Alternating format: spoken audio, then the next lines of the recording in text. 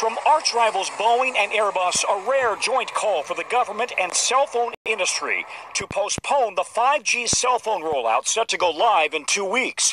The world's biggest planemakers warn 5G interference could adversely affect the ability of aircraft to safely operate. But it's completely safe for you and I, obviously. Uh, 30, 20. The concern 5G ground stations could interrupt a plane's radio altimeter, which provides precise altitude readings when landing in poor visibility. The FAA recently prohibited pilots from using altimeters during landing in bad weather starting in January when close to 5G sites. 7,000 runways and 2,500 airports, large and small, in potential interference zones. The airline industry says that airworthiness directive could impact 345,000 flights. But that's the goal, right? Captive slave populations.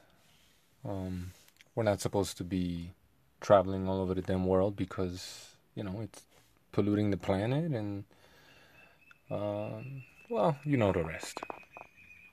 32 million passengers facing diversions, delays, or cancellations. Boeing and Airbus want to limit 5G signals around airports as other. And things of this nature will bankrupt a lot of the smaller air- airlines. They're going to be swallowed up by the major players. Ultimately, you're going to end up with just one, maybe a couple. But ultimately, I think the end goal is to just have one airline, right? One religion, one government, uh, one everything, one, right? Easier to control, right? Fewer people to um, boss around, uh, trying to bring into the fold, right? You just uh, support the guy that will uh, listen to you, support the guy that is of the same mind as you, right? Or support that CEO or that business, the business, um, or make a deal with, you know, the airline that will follow all the new regulations and restrictions and whatever you tell them to do, right? And in exchange, you give them the whole market, right? I mean, this has been the goal of these uh, so called capitalists, right? Captive markets, uh, total and unlimited control, basically. Countries have. Other countries are very carefully regulating 5G so it won't interfere with radio altimeters. Here, it's the Wild West. They can put a tower wherever they want.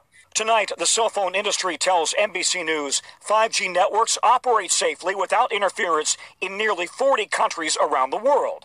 There is no legitimate factual basis for a delay in implementation.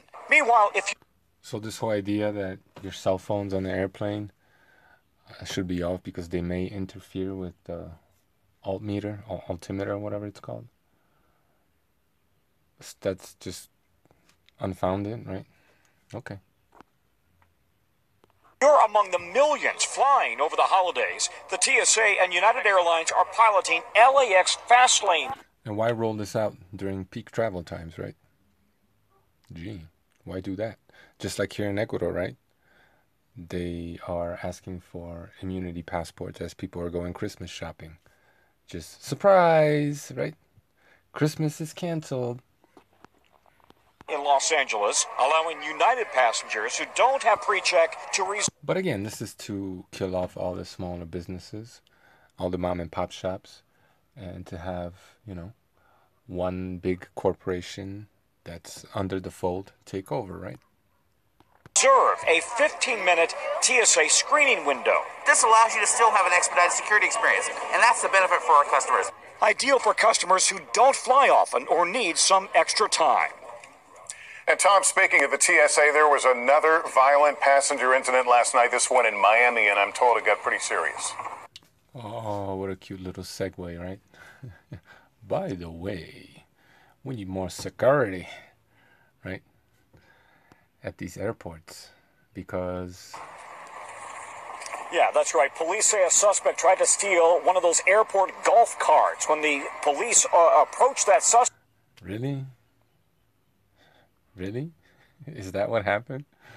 He tried to steal a golf cart. okay. They got into an altercation with the suspect. Then another suspect jumped in. In all, the officer pulled his gun as he awaited backup. The fight got out of control. Really, yet another extreme example of bad behavior in airplanes and airports. Bad behavior. Mm-mm-mm-mm-mm. You bad boys and girls. You don't get to fly because you cannot comport yourselves. Right?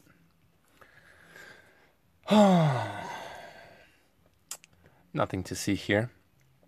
I'm curious though, seeing as they're rolling out some new um, technologies new to our bodies, frequencies. Um, it's going to be interesting to see um, if the cases will jump up in January.